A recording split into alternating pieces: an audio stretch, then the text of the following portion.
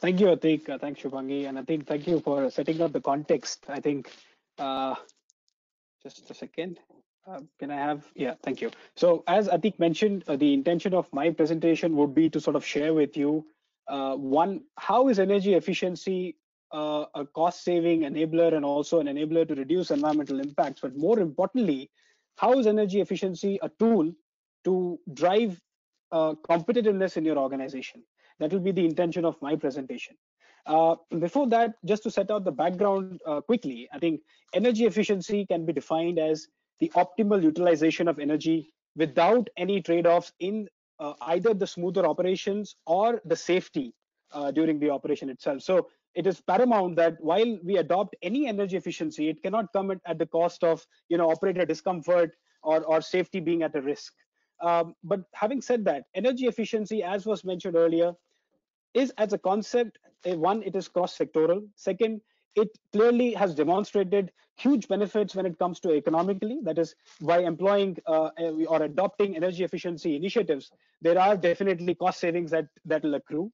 But more importantly, what the, the important thing that I want to drive out here is that there are 40 million, close to 40 million MSME units in our country.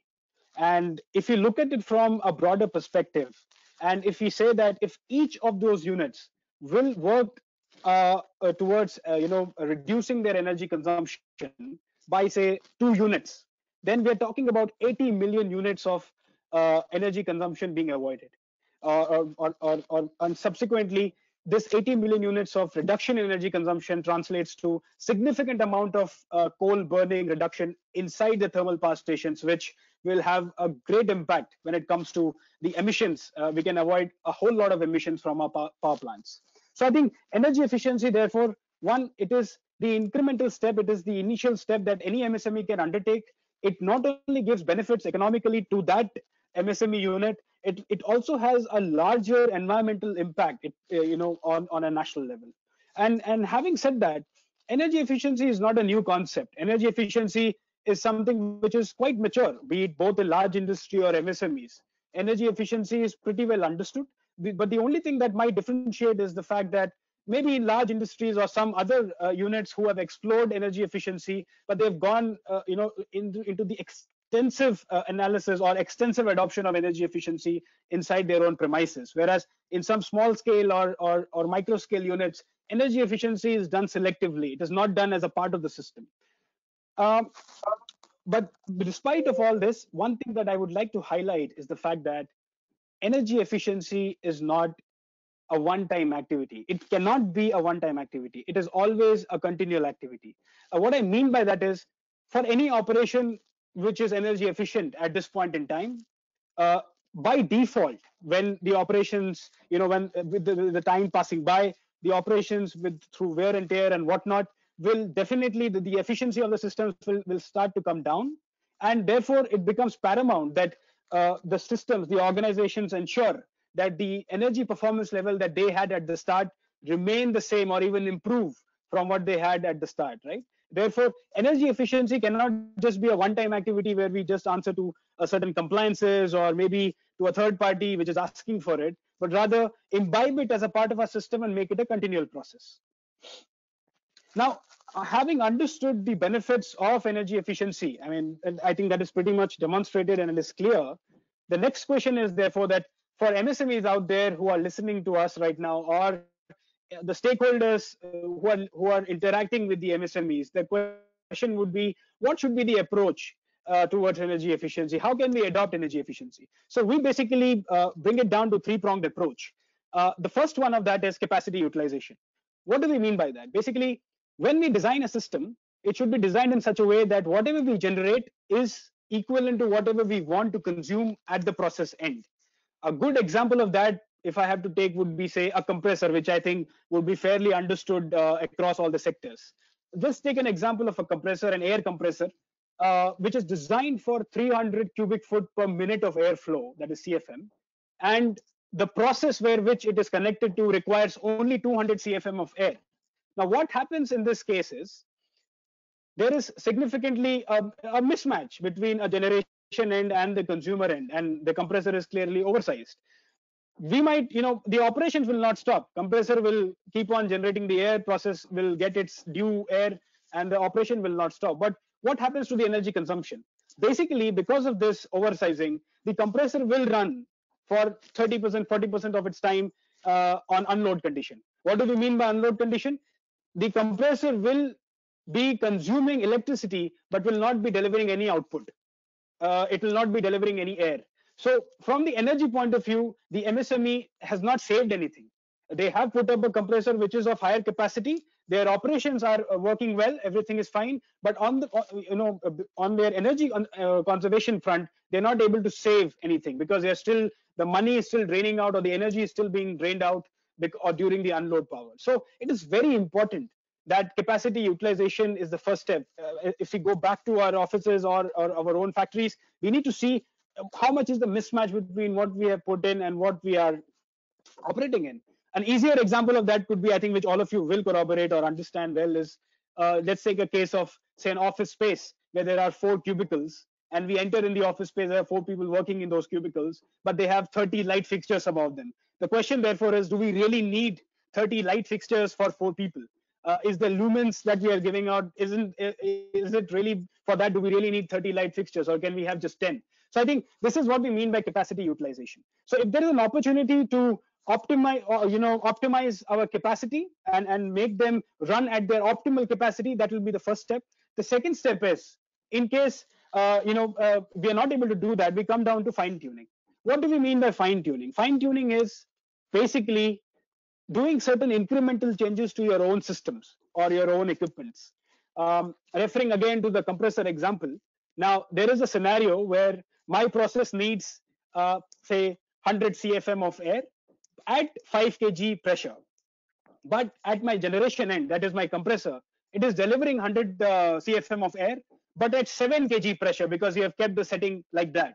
Now what is happening is first we need to see why there is this big difference in the pressure. Is there a natural pressure drop from the generation to the user? Is actually the pressure coming down because of the pipeline bends or the friction in the pipes Therefore, uh, there is this drop in the pressure. If that is the case, we need to fix it, streamline it, and reduce our generation pressure. If not, and in most cases, what we have seen is that the generation pressure is kept at 7 kg because that is how it came uh, from the OEM. Whereas we also realize that at the process end, our equipments cannot run at 7 kg. They need 5 kg pressure for them to operate. So what we do is we install PRVs, that is pressure regulating valves. Now by doing that, what we're doing again is we are definitely saving our equipment at the consumer end. We are saving our process equipments. Um, we are also ensuring that operations are smoother. But what is happening to the energy? Are we saving energy in this? No. Is there an opportunity to save energy? Absolutely yes. How? The 7 kg pressure, instead of artificially reducing it with pressure regulating valves and bringing it down to 5 kg, why can't we go to the generation side itself, reduce the generation pressure just by changing the tap setting from 7 to 5? Or closer to five, keeping certain margins. By doing that, what we will essentially do is we will save a huge lot of energy. Uh, because at the generation end, now the compressor will only be running to generate uh, a lower pressure air. Therefore, there will be a huge substantial saving, right?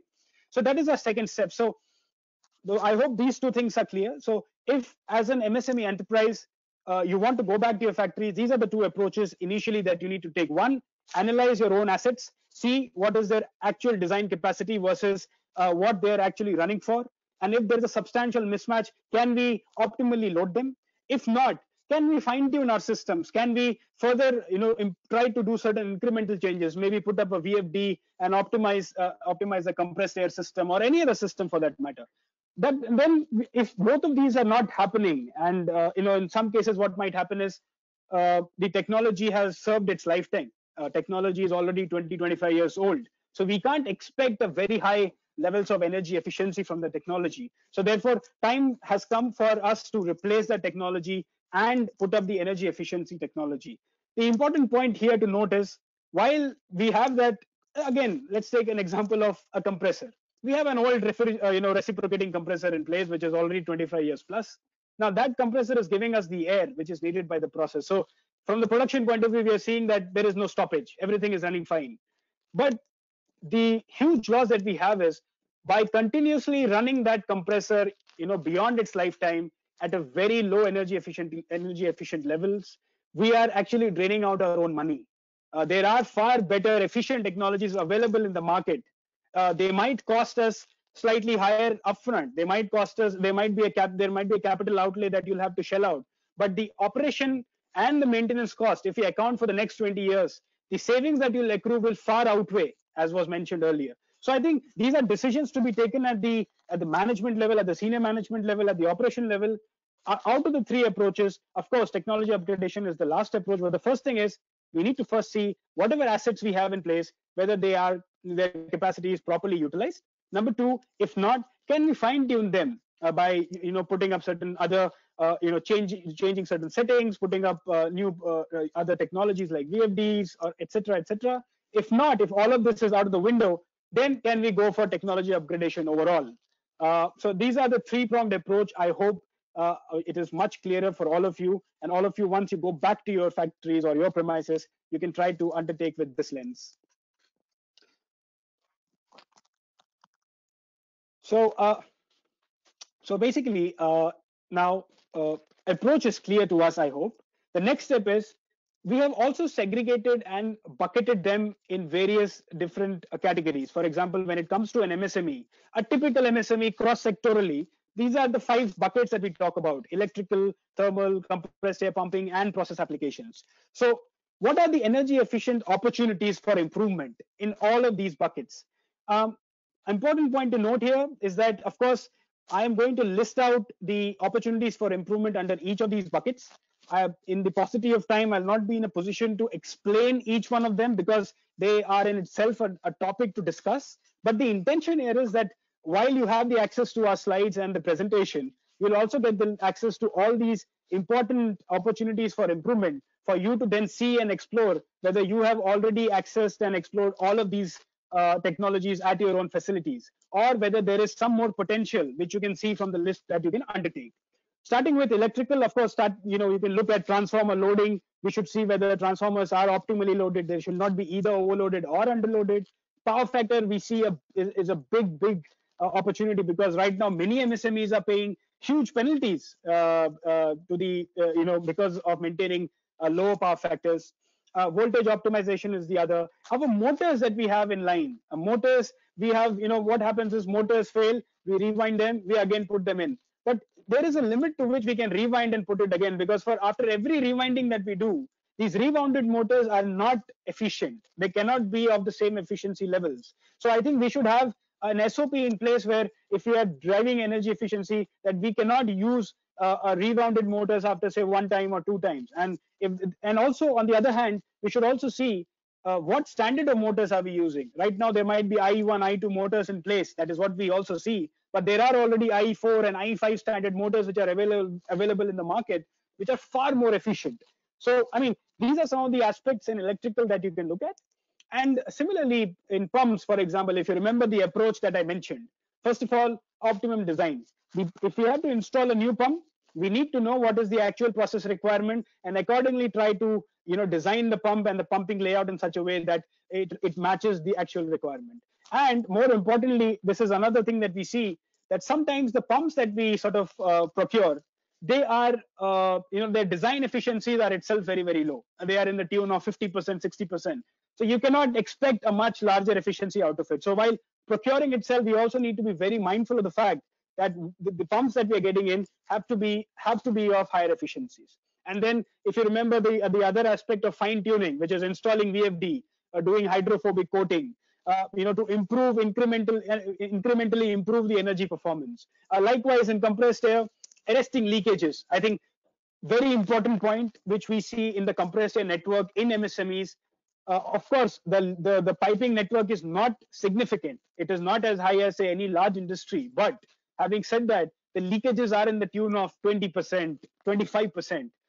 So basically, what you're doing is compressor is you know generating compressed air and and and 25% of it is going to leakages alone. So i think it is very important to remember that you know however the air is free but compressed air is not free. You are putting in money to generate that compressed air. So it is also very important that our workers and our operators are enabled are unable to understand what are the leakages in the system. You know, there should be a guidelines to them that, you know, it, it, a simple leak detection through sound, if they can do it and they can put a tag on the pipeline so that whenever there is an opportunity to fix it, they can always do it. So maybe or or set up two volunteers only looking at compressor leakage if that is a big problem in, in terms of identifying wherever the leakages are happening. And if the leakages are very persistent, then that means that there is, you know, we might have to change the pipeline itself. The pipeline has, of course, uh, it's time for us to change it. So I think this is with respect to leakages something where it does not require huge investment. It only requires a concerted effort to, to optimally run our compressors.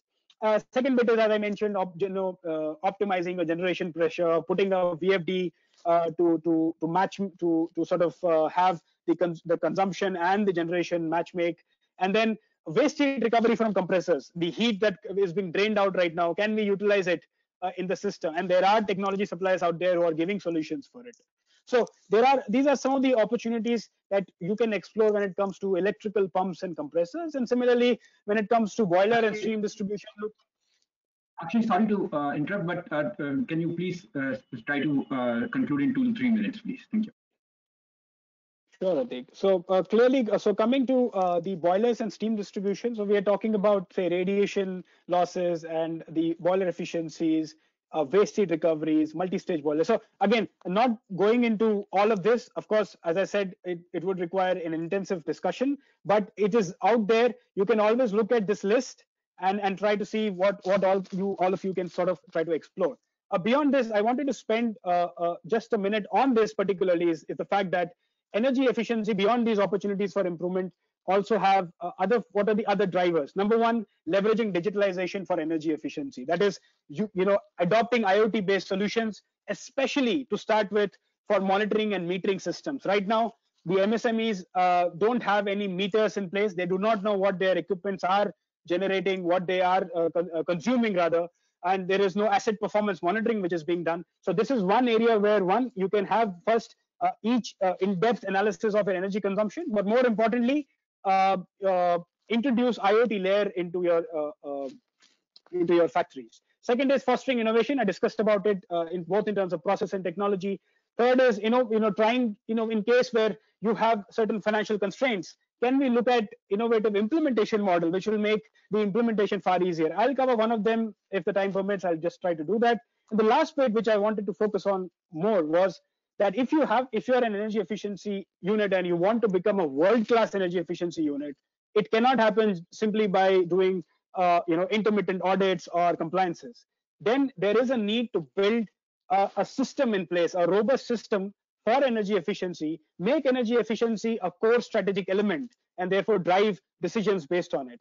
One way of doing it is through ISO 50001, which is a voluntary standard which guides the, the MSMEs on improving their energy performance. Uh, basically, by doing this process, some of the key aspects, uh, of course, of this energy ISO 50001 are that it enables top management commitment. You have policy directives coming in through this, uh, policy directives uh, concerning, say, procurement decisions. For any ACs that I will buy, it will be five-star labeled or no less, right? For any ceiling fan that it will buy will be BLDC ceiling fan. So it, it will be a policy directive, right, with, with the top leadership involved.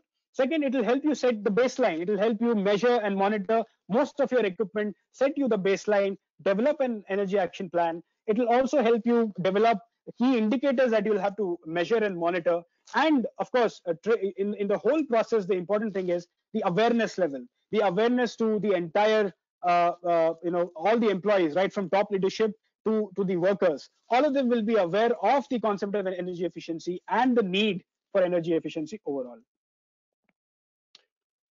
So at the end, I think uh, it was very important that I discuss, this is my last slide, I'll just discuss this model with all of you because I think uh, uh, just to share uh, an insight, last year we did a quick survey with our industry members just to understand that what was their post-COVID scenario, how they were looking at recovering from it, uh, and what was the implication on energy efficiency what they said, uh, it, it, was very interesting to note that um, you know energy efficiency still remains a top priority because it clearly is uh, makes them more competitive, uh, has you know gives them that enables them to save their energy costs. But more importantly, what they said is financial crunch is of course a prevalent issue at this time, and therefore more than 70% of them said they'll be more than willing to explore ESCO model. Now, what is ESCO model? ESCO stands for Energy Service Companies. Now, in a traditional arrangement, if, if any MSME wants a technology, they will go to the technology supplier and buy the technology and pay for it. But in the ESCO uh, system, what will happen is there is an ESCO which will put up the technology at the client facility and they will put up the technology at their own cost. So both the technical risk as well as financial risk is being taken care by the ESCO themselves. Uh, all the operation and maintenance during the part of the contract will be taken care by ESCO. So what they only do is they have the ESPC signed or EPC, which is energy performance contract with the client. As per the energy performance contract, the ESCO says that the technology that I will put in your facility will result in 5% or 10% or whatever uh, savings uh, each month. And uh, the only thing that they have to do is that after each month, whatever they save, they'll have to pay, pay a certain share of that savings back to the ESCO. And this is how ESCO generates their own money and recovers its own cost. And after maybe period of two or three years till they have recovered their money, then they go back. The asset remains with the client and uh, the client uh, uh, avails the benefit. See, the value add here is if there is a client who is either skeptical of the technology or if there is a client who is who is having financial crunch, ESCOs are a good tool, a tool because uh, ESCOs are a medium where they can come in and bring in their technology, take the technology risk, demonstrate the savings to you. So you as a client will not have to pay anything upfront. The only payment that you do is out of your savings. That is also a percentage of that you'll have to share to the ESCO. So of course, ESCO has its own challenges, but this is one uh, uh, model which we feel going forward in promoting energy efficiency has to play a larger role. Uh, with this, I will conclude my presentation. Uh, of course, if there are any questions, I'm sure once we share the slides, the list of technologies that you see, if you have any questions on it, we will be there to answer you and help you out with it. Also, if you want to explore ESCO models or any other models and want more information, you have my contact details. Thank you once again. Thanks a lot.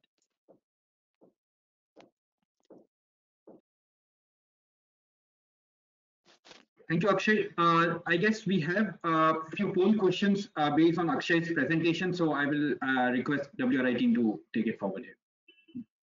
Yeah. Um, hi, this is Tejaswini here from WRI. Um, I'll be launching the first um, poll question, um, and you'll have about 30 seconds to answer this.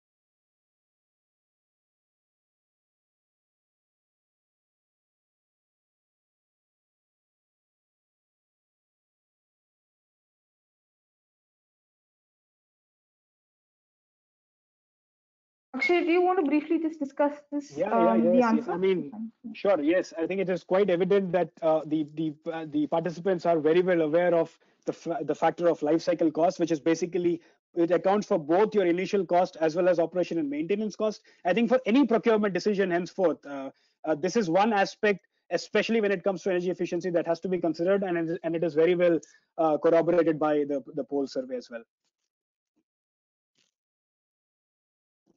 Thank we can you. move on to the next. Um, yeah, thank you. Yeah, I'll be launching the next one.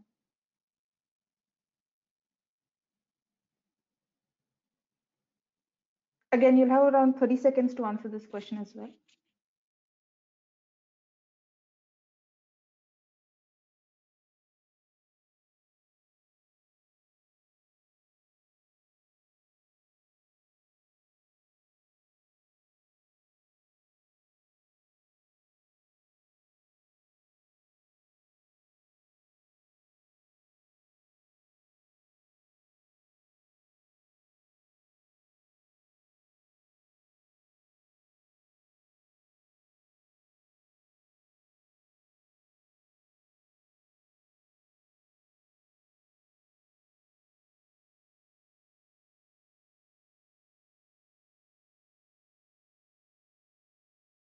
I think uh, very encouraging to note that um, at least everybody has uh, uh, sort of, uh, you know, they have these unexplored areas, especially compressors, uh, electrical. And in fact, I think our panel today, uh, we have a panelist on compressors as well. So it will be interesting to also listen from them.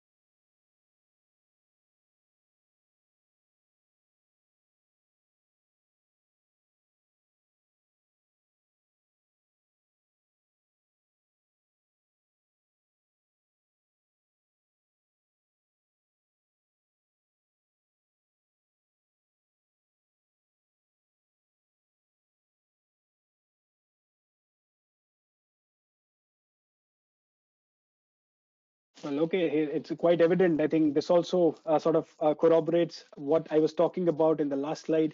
Uh, of course, uh, there are some cases where up, uh, upfront capital outlay is preferred, but ESCO performance contracting, again, more than 70% of them. So I think uh, this this sort of indicates that ESCO can be the next step to look at, at at all of these facilities. And therefore, if you need any of the information more on ESCO performance contracting and of course about the ESCOs, you guys can reach out to us uh, and we'll be there to help you out. Thank you.